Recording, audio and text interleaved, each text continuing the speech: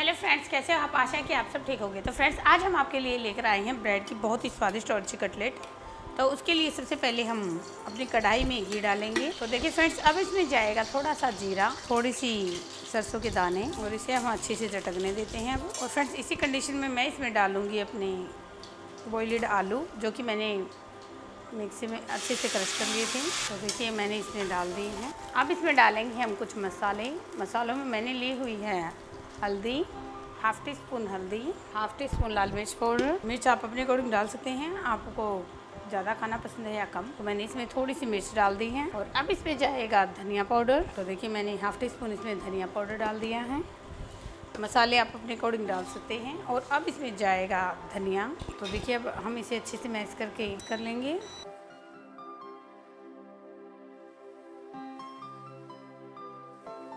इसका आपको बहुत ही अच्छा पेस्ट बनाकर तैयार कर लेना है और स्वाद अनुसार इसमें जाएगा नमक। देखिए हाफ़ टी स्पून मैंने इसमें नमक भी डाल दी और इसे भी अच्छे से मिक्स कर देंगे अब। फ्रेंड्स आप देख सकते हैं, इसका बहुत ही अच्छा पेस्ट बनकर तैयार हो चुका है। अब मैं इसे ठंडा होने के लिए एक साइड में रख दूँ। और फ्रेंड्स अब हम लेते हैं अपने ब्रेड देखिए, मैंने तीन से चार ब्रेड ले लिए हैं। तो फ्रेंड्स इन्हें लेने से पहले मैं जो दो तीन ब्रेड हैं, उन्हें अलग निकाल लेती हूँ, क्योंकि इनके हम ब्रेड्स कम से बना लेते हैं। तो इन्हें मैं अपने मिक्सी के जार में डालूँगी और इनके ब्रेड क्रम्स बना लूँगी। तो देखिए फ्रेंड्स मैंने इसकी ये ब्रेड क्रम्स बना लिए हैं और अब हम चलते हैं नेक्स्ट प्रोसेस में। उसमें हमें लेना है एक बाउल तो इस प्रकार का मैंने एक बाउल ले लिया है। इन्हें हम एक साइड में रख देते हैं। इस प्रकार का एक बाउल ले लिया। बाउल में हम डालेंगे तो फ्रेंड्स अब हम इसमें डालेंगे हम थोड़ा सा आटा। आप चाहो तो इसकी जगह मैदा भी ले सकते हो और इसी में मैं ऐड करूँगी दो से तीन चम्मच कॉर्नफ्लोर देखिए, मैंने ये दो बड़े चम्मच कॉर्नफ्लोर डाल लिया है। तो इसका हम घोल बनाकर तैयार करेंगे। तो देखिए फ्रेंड्स अब मैं इसका एक अच्छा सा घोल तैयार कर लूँगी तो देखिए फ्रेंड्स अब हम, मैंने इसका घोल बनाकर तैयार कर लिया है। आपको इसका घोल पतला ही बनाना है, ज़्यादा गाढ़ा घोल नहीं बनाना तो जिस प्रकार मैंने आपको दिखाया है, इसी प्रकार का आपको इसका घोल बनाकर तैयार कर लेना है। अब हम इसमें डालेंगे कुछ मसाले।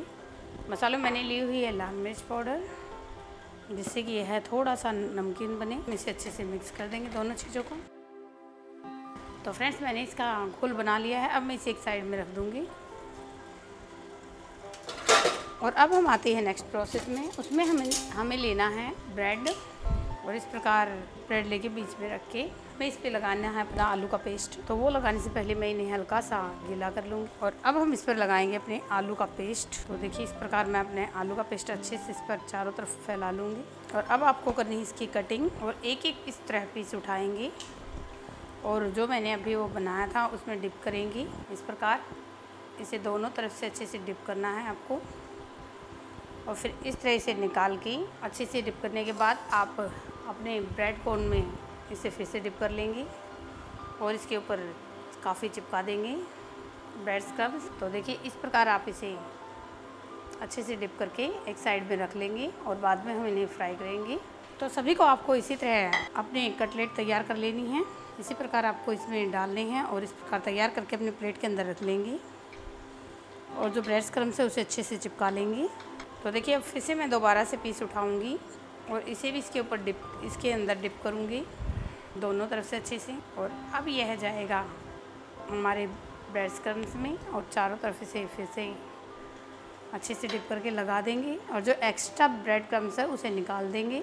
तो देखिए, इस प्रकार आपको एक एक करके सभी को तैयार कर लेना है। तो देखिए फ्रेंड्स, मैंने सभी को अच्छे से ब्रेड में डिप कर लिया है, आप देख सकते हो। अब सभी को हम फ्राई करेंगे। तो उसके लिए मैं एक एक ब्रेड उठाऊँगी और इन्हें अच्छे से फ्राई कर दूँगी।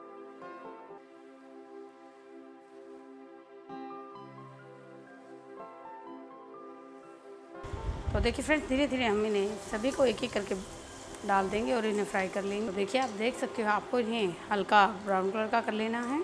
तो देखिए, हमारी कटलेट बनकर तैयार हो चुकी हैं। इसी प्रकार आपको सभी को बनाकर रख लेना है एक साइड में। फ्रेंड्स अगर आप इसे कुछ देर के लिए रेस्ट के लिए रख सकते हो तो ब्रेड क्रम्स लगा कर इन्हें फ्रिज में रख दीजिएगा। या फिर आपको थोड़ी लेट बनानी है तो भी आप इन्हें फ्रिज में रख सकते हो। तो देखिए, मैं दोनों को पलट पलट के सभी को इसी प्रकार बनाकर तैयार कर लूँगी। आप देख सकते हो तो देखिए, हमारी यह कटलेट बनकर तैयार हो चुकी है। सेब में निकाल ले, सभी को हम इसी प्रकार सेक लेंगे।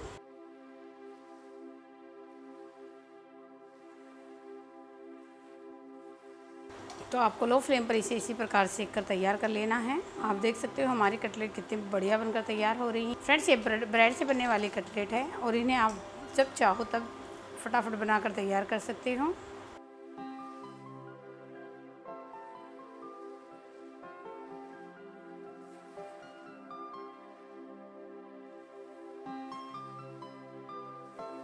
तो देखिए फ्रेंड्स, इनका कलर भी काफ़ी अच्छा हो चुका है। अब भी मैं इन्हें भी निकाल लूँगी। मैंने सभी को इस प्रकार एक एक करके सेक लिया है।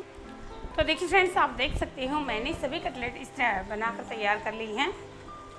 अपने ब्रेस्ट क्रम्स में अच्छे से उन्हें चारों तरफ़ अच्छे से फैला कर उसे इस प्रकार तैयार कर लिया है। आप देख सकते हो, यह दिखने में जितनी क्रिस्पी और जितनी अच्छी दिख रही है, उतनी खाने में भी बहुत ही टेस्टी और बहुत ही बढ़िया बनी हुई है। देखिए, मैं एक इनमें से आपको तोड़कर दिखा देती हूँ।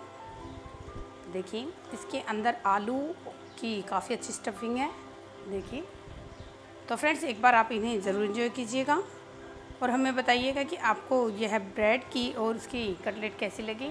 तो फ्रेंड्स अगर आपको हमारी ये वीडियो पसंद आई हो तो हमारी वीडियो को लाइक कीजिए। अपने दोस्तों में शेयर कीजिए और हमारे चैनल को सब्सक्राइब करना ना भूलें। और साथ में नोटिफिकेशन बेल ज़रूर दबाएँ ताकि आपको हमारी नई वीडियो का लिंक मिलता रहे। तो फ्रेंड्स अगली एक न्यू रेसिपी के साथ फिर से आपसे मुलाकात होगी। तब तक के लिए नमस्कार।